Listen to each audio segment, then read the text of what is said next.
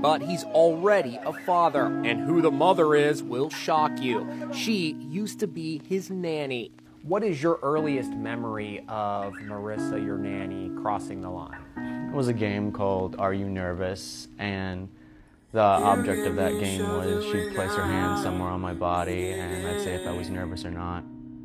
And things escalated from there. The live in nanny, Marissa Mowry, was 22 years old. Chris McBride was just an 11 year old kid, as you can see in this home video.